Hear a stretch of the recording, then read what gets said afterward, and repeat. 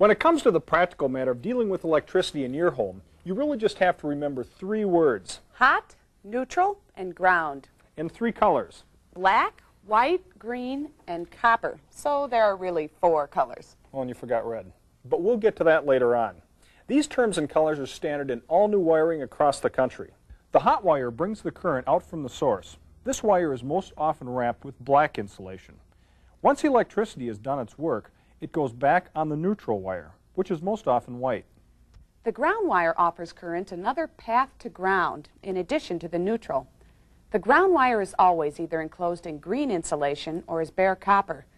And remember that electricity needs a complete circuit to work properly, a way out to the job, called the load, and a way back. When you work with wiring, it may not always be obvious that you're dealing with a loop. Well, for one thing, in house wiring, the two conductors, or three if you include the ground, are usually encased in a single flexible plastic sheath. This is officially known as non-metallic sheathed cable, but it's most often called Romex, which is the brand name of one manufacturer. Romex is what's used in almost all new residential construction, and it's what we'll be using in all of our demonstrations. There's a chart in the project guide which can help you identify other types of wires which you may come across. When you flip a switch, you actually complete a loop that starts at the power source, flows through the hot conductor to the light bulb, back to the power source through the neutral conductor. Now there are several devices designed to stop the flow of electricity between the power company and the light bulb should something go wrong. The most important of these are your home circuit breakers. A breaker is designed to turn the power off to trip should too much current try to flow through it. This protects circuits, appliances, and people. For example, if the hot lead and the neutral lead were accidentally connected, it creates a situation called a short circuit. Current will take the easiest path available to it, so it'll bypass the bulb and take the direct route back to the neutral, the short circuit. This means that current is flowing through the wires without the resistance of a load, creating a large current flow.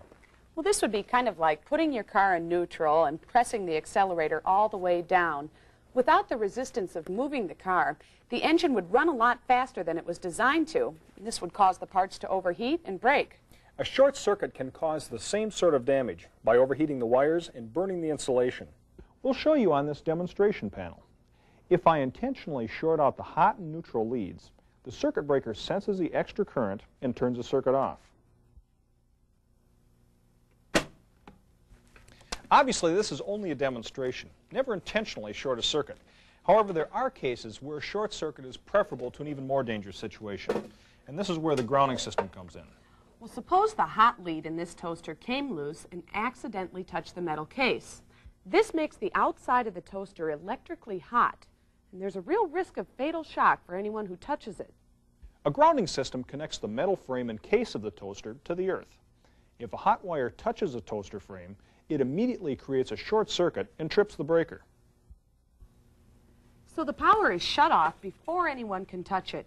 On grounded appliances, all the metal frames and housings will be connected to the ground wire. And in the wiring system itself, any metal conduit or boxes are also grounded. Short circuits aren't the only reason for a tripped breaker.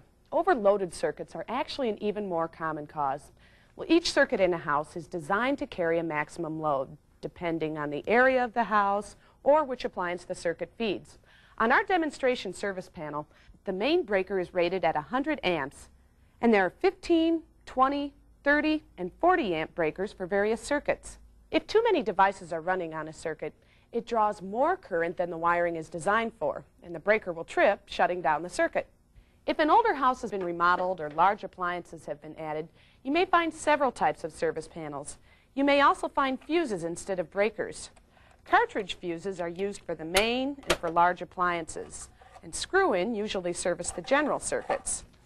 Service panels are tricky, and they can be very dangerous, so we recommend you don't do any work inside of yours. Instead, hire a licensed electrician to do this part of the job.